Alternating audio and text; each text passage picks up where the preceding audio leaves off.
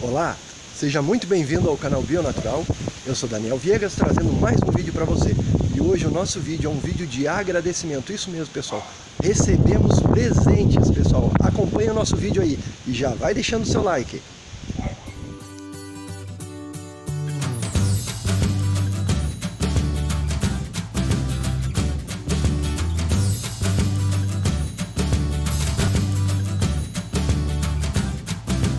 Pessoal, então vou estar tá mostrando aqui para vocês, tá? As mudas que eu recebi do nosso amigo Marcos, de São Carlos do Ivaí, no Paraná. Tá? Eu já abri a caixa, a curiosidade foi maior, mas eu vou estar tá apresentando para vocês aqui. Ó. Então, ele mandou um presente, que são algumas mudas de pitaia para eu adicionar aqui no nosso pomar de pitaia, tá? em vaso. Eu vou estar tá deixando para quem quiser adquirir mudas, tá? Porque para quem não sabe, o, o Marcos é um do, dos maiores colecionadores de mudas, de, de pitaias né, do Brasil. Então ele tem muitas, mas muitas variedades. Ó, ele mandou uma X híbrida, tá? excelente muda também. Mais uma aqui. Uma teruia Teruia já vou dar um jeito de plantar, eu estava querendo muito. Mais outra teruia. Aqui está ventando um pouco, pessoal, então eu vou tentar me ajeitando aqui. Aqui é uma outra teruia, tá? Então são três teruias, uma X híbrida. A teruia é uma excelente, dizem que é até melhor do que a boreal, do que a Royal Red, né? Alto fértil, vem de pé franco. A, a, tão famosa Maringá, que quem descobriu essa variedade foi o próprio Marcos, né? Então ele mandou a, a variedade Maringá.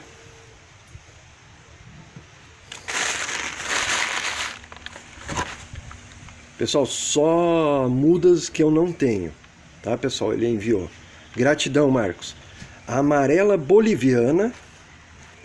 Ó, excelente muda, um cladóide bem maduro. Aqui. Olha aí, pessoal. O que, que eu falei? É só muda top. Ai, ai, ai. Tem muito espinho. Uma gigante do salada, pessoal. Olha aí, ó. Que excelência de muda. Olha a qualidade dessas mudas. Ah, tem mais aqui. Ó.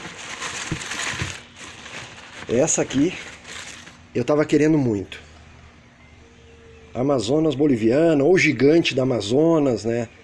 Então ele mandou uh, dois pedaços que eu vou estar tá fazendo um enxerto.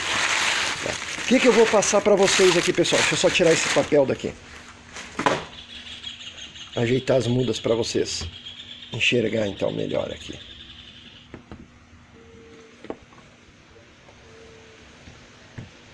E asteroide. O que, que eu vou passar para vocês, pessoal? Qual é o primeiro procedimento, procedimento que eu faço aqui, tá? Uh, independente de quem for que, que envia a muda para mim ou da onde eu estou adquirindo as mudas, tá? Eu vou fazer a sepsia dessas mudas.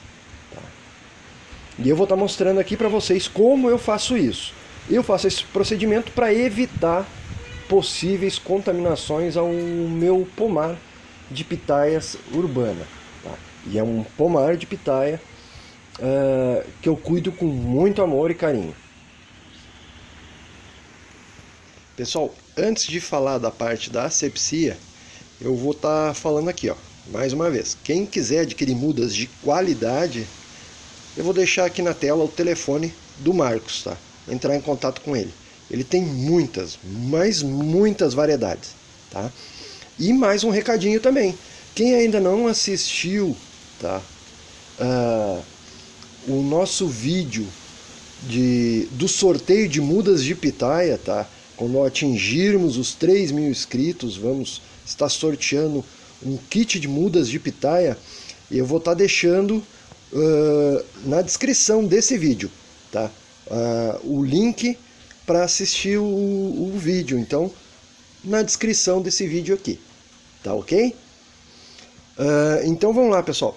Para fazer a sepsia, o que, que, eu vou usar? Água sanitária, tá?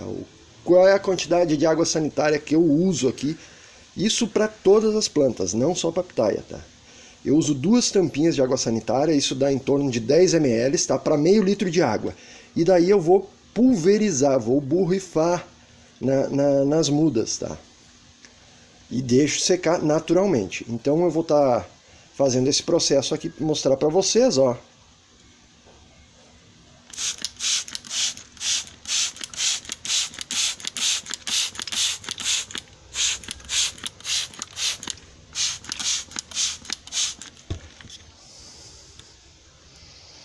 Vira.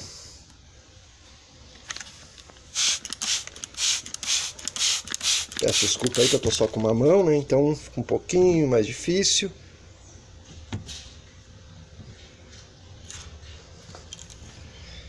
As teruia. Adorei a teruia.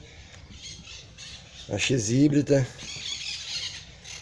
A maringá, eu queria muito uma maringá. Agora eu tenho, tá aí. Vai embelezar, vai produzir no nosso pomar urbano.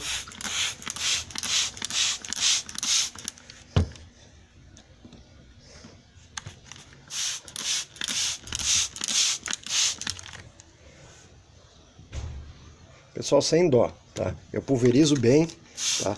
Porque isso vai evitar que entrem patógenos, tá? No nosso pomar aqui de, de pitaias, tá? Feito a parte da pulverização, pessoal, o que, que eu vou fazer? Eu vou deixar essas mudas de pitaia parada, tá? Secando ao tempo, na sombra, tá? Naturalmente. E após isso, pessoal, eu vou colocar essas mudas para fazer hidratação. Tá? Como eu faço essa hidratação, pessoal? A hidratação é simples, tá? Eu fiz com outras mudas que eu vou estar tá plantando em vaso aqui, tá? Então, ó, tá mostrando para vocês. É água, tá? Num balde. Posso estar tá usando outros artifícios nessa água? Pode, mas simplesmente a água já faz essa hidratação, tá? Muito bem.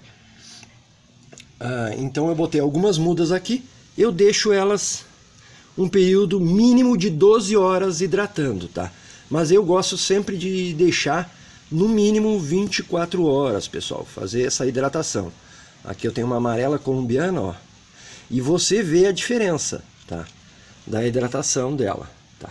Quando você toca na, na muda, ela fica mais rígida, tá? Ou seja, ela tá consumindo a água, ela está bebendo, ela está se alimentando, tá?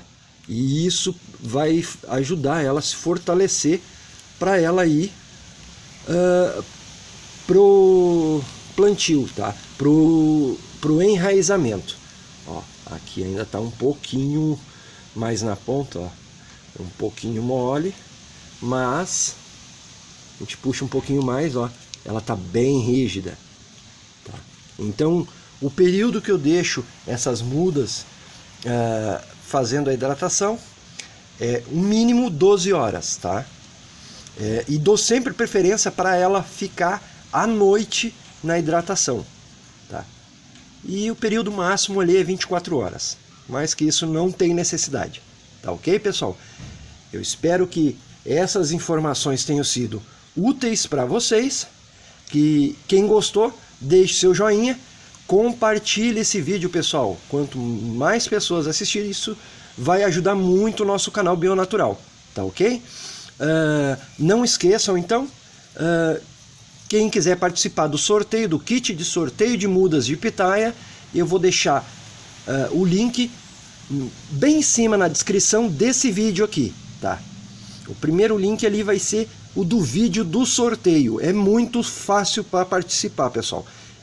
Eu espero que todos tenham gostado e até mais. Deixe o seu like, pessoal.